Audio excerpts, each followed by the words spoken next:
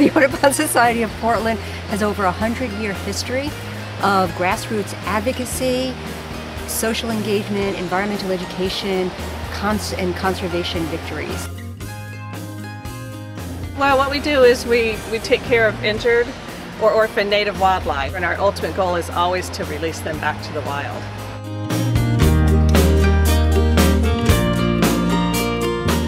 We do a wildlife animal rescue team, which is a group of about 20 volunteers that will go out and respond to um, wildlife calls and they kind of just slap this puppy on the side of their car and they'll go out and do field rescues.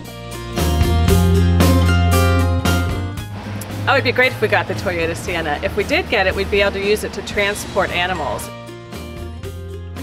We have all these programs that are community-based programs that go out into diverse communities to help bring environmental education to them.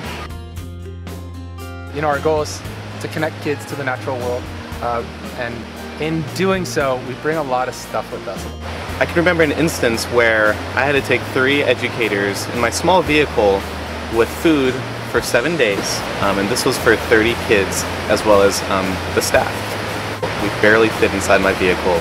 So, you know, any kind of uh, transportation support that we can get would really help our effort to reach people. And, and attract people to our work, including this wonderful sanctuary of native trees and walking trails, to not only understand and appreciate and enjoy nature, but also to step up and protect it.